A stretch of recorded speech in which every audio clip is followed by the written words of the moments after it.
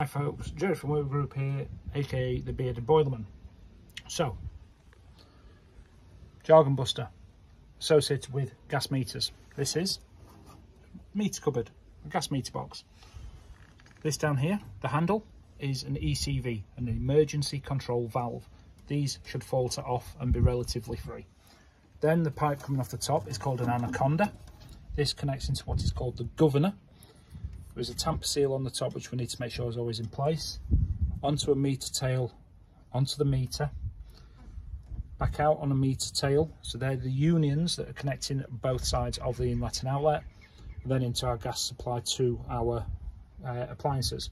This here, this earth wire, is called a CPC or an equipotential bonding. Should be within 600 millimeters before any T. If you have any requirements for us to come and give you a hand, or if there's any other jargon that you'd like us to help you with, drop us some, uh, a message, a DM, uh, email uh, if you want any kind of repairs.